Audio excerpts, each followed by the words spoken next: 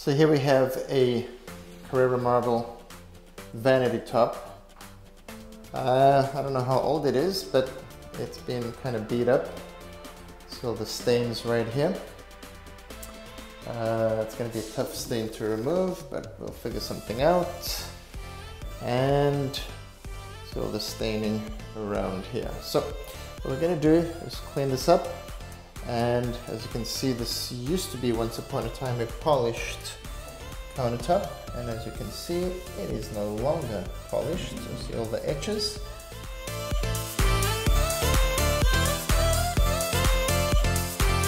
here we have the vanity that uh, we put the poultice on initially. And uh, so this needs another application. And so there's this, but I expected those to kind of have that issue. Everything else looks like it cleaned up pretty well. And we have resurfaced this, re-honed it, as you can see. So nice and smooth and clean.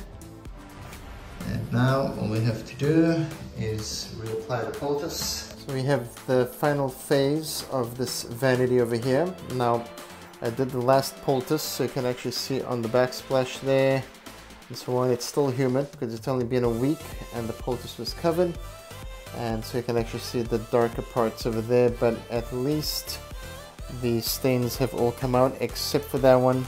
Okay, so whatever that is, it is not removable and there's a tiny little one right here those are not removable the poultice that I use is very strong and uh, so those seem like some type of a mark that is not going to come off. Alright but everything else is looking great